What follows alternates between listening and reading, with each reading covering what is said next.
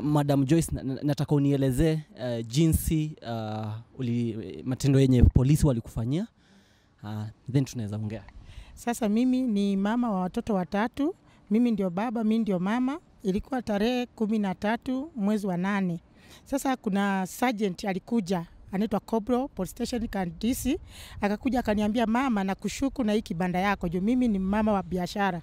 Nikamuuliza unanishuku kivipi? Akunieleza, nikambembeleza, akapanda Land Cruiser akaenda. Kabla tueleze ni mtamu gani huku kwenye polisi alikuja? ni, ni hapo Rimpa stage, stage, stage Rimpa. Kibanda yangu iko tu hapo Rimpa kwa stage.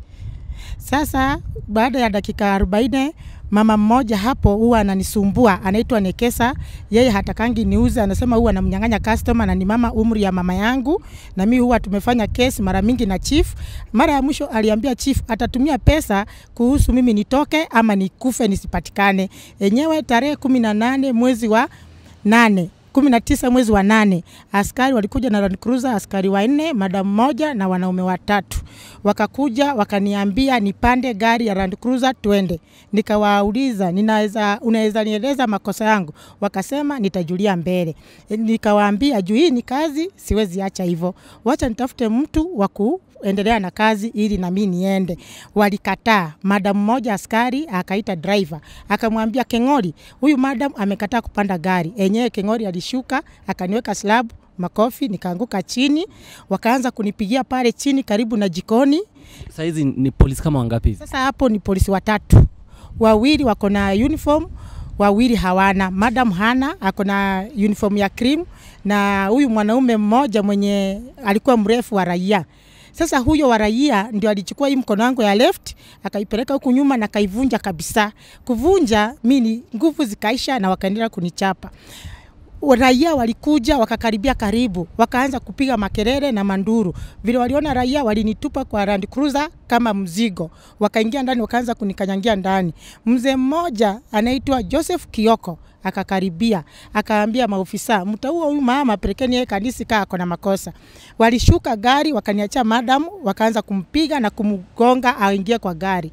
Yeye aling'ang'ana nao, wakamrarulia nguo zote, raia wakaanza kupiga mayowe wakipiga picha wakirusha hata mawe, ndivyo walitoroka na mimi. Madam akawambia tunapigwa picha, tuendele na huyo. Walitoroka na mimi mpaka police, police post Kandisi. Kufika huko mguu imefura, mkono imevunjika, imefura, siwezi hata tembea. Walinivurutanisha mpaka kwa ofisi kukalia form. Huyu askari driver anaitwa Keng'odi aliniweka teke ya figo, nilianguka chini Anakuchapia bado ukiwa kwa police station? ananichapia bado nikiwa police station. Nikaanguka chini na saa hiyo hiyo tu nikaanza kukojoa, mkojo ikaanza kutoka bila break, na wakaanza kunipiga, lakini huyo askari anaitwa Makoha mwenye alinivunja mkono, huyo alipita akaenda mpaka huko kwa, kwa ofisi huko nyuma. Sasa hawa watatu ndio walibaki wakinichapa, madam ananichapa, nikapiga nduru nikilia, nikaambia maskari mtaniua. Kioko akani ki, ni- King'ori, King'ori, askari King'ori driver akasema mimi nataka ukufe, haja yetu ni ukufe kwa sababu ulikataa kuingia kwa gari. Nikawaambia tafadhali msiniue, niko na watoto. Wakaniambia, King'ori akasema niko na wewe mpaka dakika ya mwisho mpaka nihakikishe umekufa. Nikapiga nduru, nikapiga nduru, nikapiga nduru, simu naye wateja wananipiga wa, watu wenye waliona nikiweka kwa gari wananitafuta kwa simu. Saizi kwa simu unajaribu kufikia nani? Sasa kwa simu nikitaka kuchukua mkono iwezi, juu hii mkono ya right imeshikilia left, juu imevunjika kabisa. Huyo askari Keng'oli aliingiza mkono kwa mfuko akatoa simu yangu akapigisha kwa fomu ile nilikuwa nimekalia, ikavunjika yote na ikaisha, na karudisha ndani kwa mfuko. Wakaita Kobro. Huyo Kobro mwenye alikuja tu kwangu tarehe 13 kuniambia na nishuku, akakuja hapo akaniambia, oh, umeletwa, ulikuwa unajifanya wewe ni mwerefu, utaenda, tunataka tukupeleke jela ufungwe maisha usipatikane hapo kwa kibanda. Na mimi nikawaambia ni sawa, kama niko na makosa sheria ndio itaamua wakasema nirudishwe kwa gari nipelekwe police station Ongatarongai. Sasa mimi siwezi tembea, walinivurutanisha wakaniweka kwa Land Cruiser, nikaenda mpaka police station Ongatarongai. Kufika huko nilikuwa tu na huyu askari Keng'ori, lakini hao wengine watatu wamebaki station po- post police post wamebaki huko. Sasa mimi OCS akakuja akaniuliza, juu walinishukisha na wakaenda. OCS akakuja akaniuliza, habari mama, mzuri, ni nani amekuvunja vunja? Nikamwambia ni askari wa Kandisi. Aka, akasema mko na nani? Tulikuwa tume, nilikuwa nimepewa askari moja, lakini yeye hakuwa kwa vita, yeye alikuwa tu huko, alitolewa kunileta police station Rongai. Akaulizwa, ni wewe uko na huyu mama? Akasema ndio. Ni nini amefanya? Yeye akasema hakuwa anasikia ati nilikataa kuingia kwa gari. Akaambiwa ite hiyo gari haraka inipeleke nini hospitali. Hiyo gari ilirudi, nikawekwa ndani, nikapelekwa nini polisi ya nikapelekwa hospitali ya, ya nini ya Saitoti. Saitoti wakaniweka kwa kitanda, wakasema waezi nitibu juu nimefunjika mkono na tena figo iko na shida. Nikarudishwa kwa gari mpaka Bagadhi. Bagadhi wakapiga picha ya mkono na figo, mkono ikawa imevunjika kabisa na figo naye iko na crack wakanirudisha kwa gari waka, nikaambiwa tuende Kenyatta. Kufika Kenyatta, kufika hivi Kenyatta, madaktari wakanichukua wakaanza kuniuliza ni nini mama. Huyu askari Keng'ori ndio tulikuwa na yeye juu ni driver. Akaambia daktari wa Kenyatta ni accident. Mimi nikaambia daktari sio accident, ni maskari wamenivunja vunja. Huyo daktari akaanza kuandika akiniuliza maswali, unafanya kazi gani? Nauza kibanda. Shida ilikuwa nini? Nikawaambia mimi sijui, juu wamekuja tu wakaanza kunivunja vu, kunivunja vunja. Sasa mimi tuka nikalala huko hospitali, kufika asubuhi wakaniweka plasta, wakasema nirudi hospitali tena siku ya Monday. Tukarudi mpaka police station Ongatarongai. Kufika huko Kengori alinishukisha hapo tu kwa mlango, akaenda akaniachia huyu askari. Huyu askari akaingia ndani Tuliku, madam alikuwa OB hapo. Madam akamwambia huyu mama mkubwa amesema asiingizwe sel na msiandike statement yoyote juu hakuna makosa mmempata nayo. Naye akasema mimi najua chenye nitaandika kwa sababu mimi ndio najua. Naye huyo madam siwezi jua ni askari mgani, lakini sura naweza mjua. Akawaambia wasiandike, akapiga simu akaambia mkubwa, huyu mama ameletwa. Mkubwa akasema wasijaribu kumwingiza seli, akayapo nje mpaka niku nikuje. Sasa mimi nikawekwa nje, huyu askari akaandika, sijui aliandika nini, akaandika akachukua. Anaandika statement yako ama Hata sikuelewa hapo, juu aliingia tu kwa kitabu mwenyewe na amekatazwa, akaandika mwenyewe.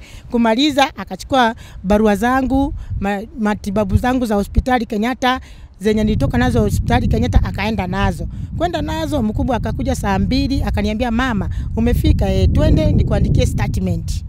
Sasa mkubwa wa Ngatarongai akaniandikia statement, akanipatia hiyo statement niende kuchukua, akanipatia B3 nikaenda mlimani siku ya Tuesday nikamrudishia. Kumrudishia akaniambia sasa kesi itaenda kotini siku yoyote, na akaniambia next week nitakuita unionyesha maskari wenye walikuvunja, tutawaeka kwa parade. Yenyewe aliniita tukaweka askari, lakini madam nikamchagua, akasema hawa maskari wamesema wenyewe walinipiga, lakini ye, wana, ninawajua na watakuja, lakini Keng'ori, huyu Keng'ori alisema hawezi enda kwa paredi juu namjua. Na yenyewe nikitoka hospitali nakutana na huyu na askari Keng'ori, anaanza kunihoji akiniuliza kesi inaendelea aje. Mimi namwambia mimi sijui mambo ya kesi juu nilivunjika mkono, niko na shida ya figo, niko na shida ya tumbo, mimi nashughulika nione vile nitapona. Ananiambia niende nitoe jina lake, niache haya maskari wengine watatu. Na mimi namwambia wacha kwanza nipone, tujue maisha yangu tutetee kwanza maisha yangu juu niko na watoto. Wakati huo anatoa threats ama tu anaongea kwa urafiki? Anaongea tu kwa urafiki, lakini huwezi jua ndani yake anafikiria aje. Sasa kuna wakati hii mwezi wa kumi simu imepigwa usiku, nikachukua saa tano ya usiku. Mama anaongea chini kabisa, anasema wewe mama, wewe ndio askari walivunja mkono. Nikasema ndio. Toka nje saa hii umalize hii kesi ya askari, juu hutaenda kotini, askari wafutwe kazi kwa sababu ya hii maneno yako. Saa hii utoke nje, tumalizane hii maneno ama tukumalizie. Mi nikawaambia tafadhali tafadhali, saa hii ni usiku, gojeni kesho, kesho twende mpaka Ongatarongai police station, tukutanie huko, kesi iko iko iko police station. Anakueleza jinsi vyenye anakwambia mtoke nje umalize kisa, anakuelezea mm. jinsi vyenye anataka umalize. Ah, ah, ananiambia tu tunataka umalize hii kesi juu askari hawatafutwa juu yako ama tukumalizie. mi namwambia wacha tuende kesho juu saini usiku police station Rongatarongai, huko ndio kuna kesi, alafu iwe mchana. Alafu namuuliza we ni nani, niambie tu nijue we ni nani, ndio nijue ni nani. Anasema hapana, mimi ni mmoja wenye maskari walikuvunja. Sasa kuanzia hiyo wakati niko wasiwasi usiku, kuanzia tu saa kumi na mbili Land Cruiser inapita tu hapo kwangu mpaka usiku mpaka usiku. Sasa hata kwangu siko, niko wasiwasi. Ushahama? Nishahama, lakini nimeacha watoto wangu na ni mimi niko karibu na wiki tatu hivi siko huko. Mm. Ah, maskari ningetaka haki itendeke kwa sababu wako na tabia mbaya huko kwetu. Kwanza Rimpa, maskari kila saa wanashika watu wa pikipiki, wanashika vijana, wanashika kila mtu. Sasa hawana hawana kazi yenye waliandikiwa, sio yenye wanafanya. Ikiwa wanapata mpaka mama mwenye ako na kibanda anatafutia watoto wake, wanamkuta mpaka kwa kibanda, wanamvunja vunja, nao ni waaskari wenye wanastari watulinde, nao wana, wanageuka wanakuwa majambazi.